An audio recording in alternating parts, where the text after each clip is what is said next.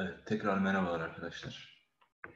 25.06.2020 Perşembe günü yapılan TYT sınavımızın tarih sorularıyla beraberiz. İlk sorumuzla başlayalım. Birinci soru ne demiş? Bu durumun Türklerle ilgili aşağıdakilerden hangisi üzerinde en az etkili olduğu savunulabilir demiş. Türklerin ana yurdu olan Orta Asya denizden uzak, yüksek dağlarla çevrili ve iklimi çok sert bir bölgeydi. Karasal iklimin bütün acımasızlığı ile hüküm sürdüğü bu coğrafyada yaz aylarında bozkır, özellikle kurak yerlerde çöle dönüşüyordu. Çinli bir yazar, Gobi çölü kenarlarındaki bozkırların durumunu yerde ağaç bitmez, biten tek şey yabani otlardır şeklinde anlatmaktadır. Bu nedenle bozkırda tabiatın insana sunduğu kaynaklar sabittir. Bu durumun Türklerle ilgili aşağıdakilerden hangisi üzerinde en az etkili olduğu savunulabilir demiş. Şimdi bir kere konar göçer yaşam tarzı görülmesine etkilemiştir kesinlikle. Doğrudan direkt en fazla etkilediği şey bunlardan birisi yaşam biçimidir mesela. Bozkır yaşamı e, konar göçer yaşam üzerinde çok etkilidir. Sonra boylar halinde yaşamışlardır. Evet. E, boylar halinde yaşamaların nedeni daha fazla işte otlak arama isteği, her boyun kendi otlaklarına sahip olma isteği e, ve otlakların kısıtlı, dağınık, farklı yerlerde olmasından dolayı bu şekilde Türkler Orta Asya'da boylar halinde dağılmışlar ve bu şekilde yollarına devam etmişler. O zaman bu da etkili. Bunun üzerinde de etkili.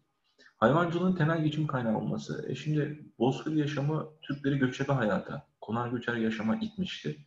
E konar göçer yaşamda tarım yapamazsın. Ne yaparsın? Hayvancılık yaparsın.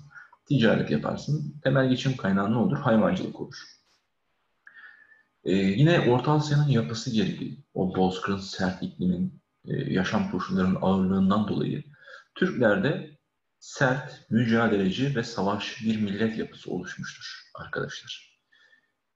Edirne ise balık adı verilen şehirlerin kurulması. Yani bunun balık Türklerde kurulan şehirlere balık adı verilmiştir. Bir kere bahsettiğimiz, yukarıda verdiğimiz e, işte şıklarda veya şıklarla veya işte parçayla alakalı en uzak alakalı olan şey E şıkkı e, balık adı verilmesi şehirlere burada bizim e, bozkır coğrafyasının e, ikliminin üzerinde en az etkili olduğu şeydir. Hatta alakasız olduğu bir şeydir neredeyse. Cevabımız Edirne olacak. Bir E. Evet. İki. Türklerin aşağıdaki faaliyetlerinden hangisinin bu düşünceyi doğrudan desteklediği söylenemez. Pek çok bilim insanı Türklerin Müslümanlığı kabul ettikten sonra bütün varlıkları ile İslam dinine hizmet ettiklerini söylemektedir.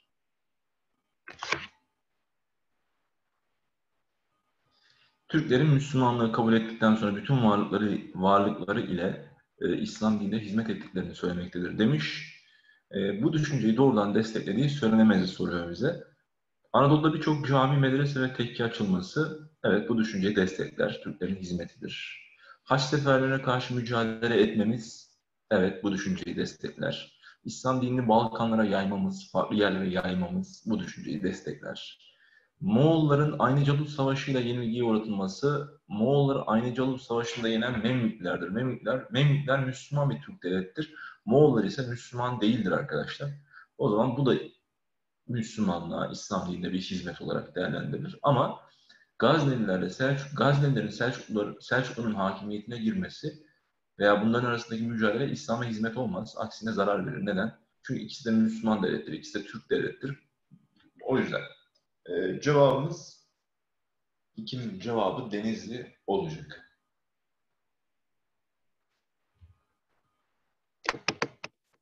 Evet, 3 üç, 3'e geleceğiz. Çetin Osmanlı miri arazi için bu toprağın miri arazi dediğin zaman devlete ait toprak demektir arkadaşlar. Miri arazi için ne demiş e, Çetin?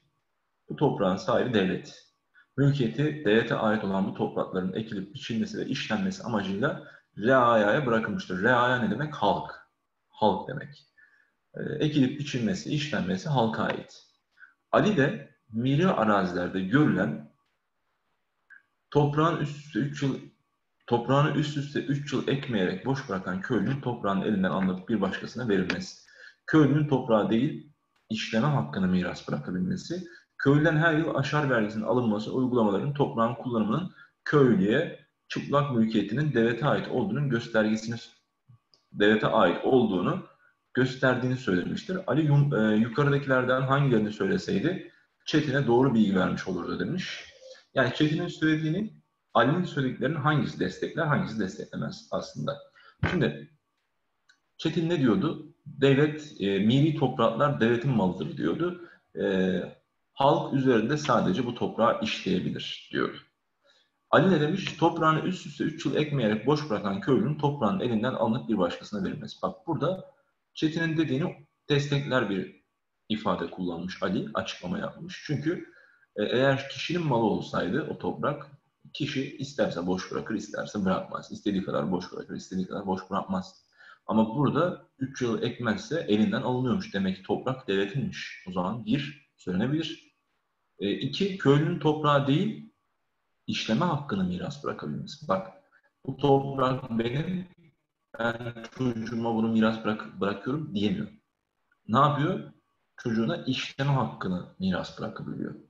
Bu toprağı benden sonra işleyecek sensin diyor. Toprağın sahibi yine kim? Devlet. Bu da söylenebilir. Üç, köylüden her yıl aşar vergisinin alınması. Bu ayrıcı bir bilgi değildir. Çünkü yani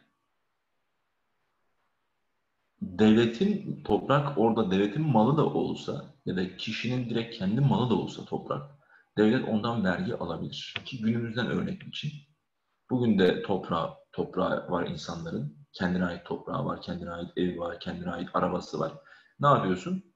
Bunlar senin olmasına rağmen devlet bunları senin elinden kesinlikle alamaz. Ama ne yapar? Bunların üzerinden vergi alıyor devlet. Gibi. O zaman bu ayrıcı bir bilgi değil. Yani bizim soruda istediğimiz bir bilgi değil bu. O yüzden 1 ve 2 olacak cevabımız Denizli. 4. Aşağıdaki tabloda bazı tarihi gelişmeler numaralandırılarak verilmiştir. Bu sıralamada neden sonuç ilişkisini bozan gelişme kaç numaralı alanda gösterilmiştir diyor. Sanayi inkılabı, ardından ham madde pazar ihtiyacının artması, devletler arası sömürgecilik yarışının büyümesi, devletler arası bloklaşmanın ortaya çıkması, Birinci Dünya Savaşı'nın çıkması ve en son ne demiş? Sırbistan, Karadağ ve Romanya'nın bağımsızlığını kazanması. Bak, sanayi inkılabı ham madde ve pazar ihtiyacını tetiklemiştir. Bu da devletler arası sömürgecilik yarışını hızlandırmıştır. Sömürgecilik yarışının hızlanması devletler arası silahlanma ve bu silahlanmayı ve bloklaşmayı ortaya çıkarmıştır.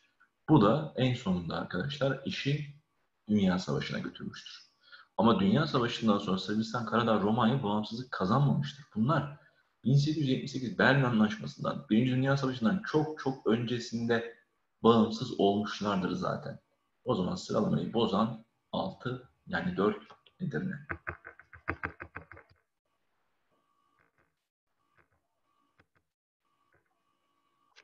Aşağıda Atatürk'ün sözleri bu sözlere dayanarak ulaşabilecek Atatürk ilkeleri eşleştirilmiştir. Bu eşleştirmelerden hangisi yanlıştır? Şimdi demiş ki A şıkkında yaptığımız ve yapmakta olduğumuz devrimlerin amacı Türkiye Cumhuriyeti halkını tamamen çağımıza uygun ve bunun pardon e, uygun ve bütün anlam ve biçimiyle uygar bir toplum. Uygar, medeni, modern, muasır medeniyetler seviyesi. Bunlar bize bazı anahtar kelimelerdi. Yani bize ipucu gösteren anahtar kelimelerdi. Hangi inkılapçı, hangi ilkenin anahtar kelimeleri bunlar? Tabii ki inkılapçılığın. Yani doğru. Geçelim B'ye. Türk milletinin yürümekte olduğu ilerleme ve medeniyet yolunda elinde ve kafasında tuttuğu meşale e, müspet ilimdir demiş. Müspet ilimdir. Eee bir geçelim bunu. C şıkkı bizim düşüncemizde çiftçi, çoban, amele, tüccar, sanatkar, asker, doktor, kısacası herhangi bir toplumsal statüdeki bir vatandaşın hak, menfaat ve hürriyeti eşittir. Bakın, vatandaşın, halkın arasındaki eşitlik dediği zaman halkçılık olur. Doğru. Büyük davamız en uygar ve en bolluğa kavuşmuş millet olarak varlığımızı yükseltmektedir. e, büyük davamız millet olarak varlığımızı yükseltmektedir. Millet, vatan millet sevgisi. Burada milliyetçilik, evet doğru, ulaşabiliriz. Vicdan özgürlüğü sınırsız ve sataşılamaz bir... Şimdi din ve vicdan özgürlüğü dediği zaman hangi ilkin anahtar kelimesiydi? Laik. Bu da doğru. Ee, Türk milletinin yürümekte olduğu ilerleme ve medeniyet yolunda. ilerleme ve medeniyet yolu dediği zaman arkadaşlar inkılapçılık olur, cumhuriyetçilik olmaz. Yani beşinci sorunun cevabı Balıkesir'dir arkadaşlar. Ee, böylece sorularımızı bitirmiş olduk. Artık bundan sonra gerçek sınav olacak. Cumartesi günü e, ve pazar günü. Şimdiden herkese tekrar başarılar diliyorum arkadaşlar. Görüşmek üzere.